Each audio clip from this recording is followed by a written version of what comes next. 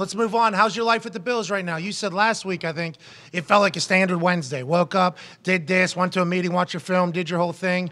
This year, you, or this week, you do anything different with Bean? You in his back pocket? You actually shadowing him, or you still player coach Von Miller right now? No, I haven't got no time yet. You know, I've been. Oh, I, they no. they mutt they mutt me here at the. Here at Oh, the no. I, I get here at I get here at 9 a.m. and I'm leaving at four at four in the afternoon to straight rehab. Man, I mean that's that's what I want it, man. You know, I want Oh, okay. you know to put all the work in. Um, I enjoy you know my teammates coming in and they see me and they're like, man, you're already walking, or you're already doing this, or you're already doing that, and it just gives me an opportunity to show you know my teammates how hard I work and. There's my guy right there, man. show my guys how hard I Put it work, up. man, and show what I'm all about, man. So that's uh you know it's it's two folds of everything, man. I just enjoy being up here with the guys, man. I enjoy being in the mix. Um, I enjoy you know hearing guys' conversation and say, hey man, be positive. Hey man, let's think about this. You know the trophy, this and that. Like, so I enjoy being up here. I enjoy my role for sure. Is there anything you're doing now? I guess like can you track how far ahead you are this surgery compared to last time you had this done? Like how did they I know throughout your rehab there's always like goals and milestones you have to hit. Yeah. Do you bump those up or how does your whole timeline work?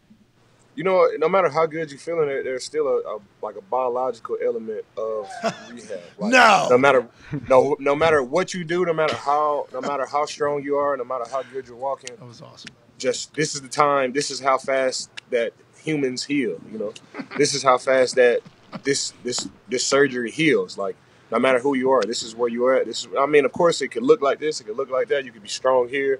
You could be strong in this this part of your rehab, but it's just a, a weekly thing, and I'm just you know chipping off at it week by week. Biologically, you shouldn't have been walking what three days after your ACL No. and then Yeah. renting out a sports bar for twelve hours. So I mean, mentally, like mentally, like I don't want to get guys revved up or anything like that. Like I'm I'm out, but you know, mentally, I like I'm feeling like bro, like a couple of more weeks, like I could be close, like you know, like playoffs, AFC Championship, I can make it. But Yeah. you know, hell yeah. I don't want to get I don't want to get Bills Mafia revved up and ready to go. Yeah, But, you know, biologically, mentally- mentally, that's biologically, a little feel, different like, conversation. That's how my knee feels. Yeah. That's how every, yeah, that's how everything feels when I'm walking in here.